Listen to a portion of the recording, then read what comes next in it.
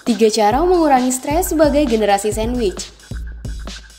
Menjadi generasi sandwich bukanlah kondisi yang mudah, terlebih bagi yang tidak berkelimpahan secara finansial. Dengan pendapatan bulanan yang mungkin tidak cukup besar, tentunya akan menjadi satu tantangan sulit untuk mencukupi semua kebutuhan banyak orang, seperti anak, orang tua, bahkan juga kakek nenek ataupun cucu. Selain itu, tentu saja harus memenuhi kebutuhannya sendiri. Keadaan ini berpotensi menimbulkan kelelahan baik fisik maupun mental. Jika dibiarkan, bukan tidak mungkin akan menjadi biang penyebab stres bahkan depresi. Diperlukan upaya agar tanggung jawab besar sebagai generasi sandwich tidak akan membuat kehidupan pribadi menjadi terabaikan, bahkan mengalami stres berkepanjangan.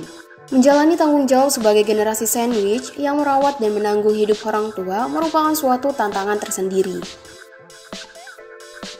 Berikut tiga cara untuk mengurangi stres akibat tanggung jawab sebagai generasi sandwich, terutama dalam hal merawat orang tua sebagaimana dikutip dari Forbes.com. 1. Meminta bantuan Pertama dan terpenting, mintalah bantuan. Mintalah anggota keluarga lain untuk membantu merawat orang tua yang sudah lanjut usia dan jadwalkan waktu itu agar semua dapat berkoordinasi dan mengikuti kesepakatan. Ini memberi kamu waktu istirahat dan juga untuk merawat diri.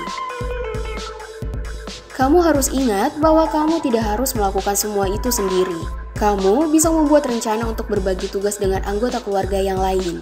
Lakukan tinjauan terhadap pembagian tugas ini dan jika perlu buatlah evaluasi.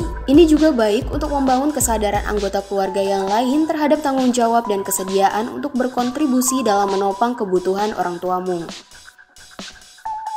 2. Berkomunikasi Jagalah komunikasi dengan semua anggota keluarga termasuk yang tidak tinggal bersama orang tua. Upayakan mereka juga mengetahui kondisi orang tua. Berikan dorongan agar mereka dapat menelpon atau mengunjungi orang tua sesekali. Ini akan mengurangi bebanmu dan pastinya orang tua juga akan merasa senang. 3. Manfaatkan waktu sebaik-baiknya. Luangkan dan nikmati waktumu bersama orang tua. Kamu bisa menikmati kebersamaan dan sekedar berbincang-bincang. Cobalah juga melakukan kegiatan yang kamu dan orang tuamu sukai. Mungkin kegiatan berkebun, melukis, ataupun memasak. Ini bermanfaat untuk mengurangi stres bagi kamu dan orang tuamu. Dengan cara-cara di atas, kamu dapat sedikit mengurangi bebanmu. Hubungan dengan semua anggota keluarga yang lain juga bisa menjadi lebih dekat. Dan dengan adanya dukungan finansial dari anggota keluarga yang lain, tentunya akan sangat membantu agar kebutuhanmu juga tetap bisa terpenuhi. Yang tak kalah penting adalah kamu bisa berbakti kepada orang tua tanpa lupa berbahagia dan tak kehilangan kehidupanmu sendiri.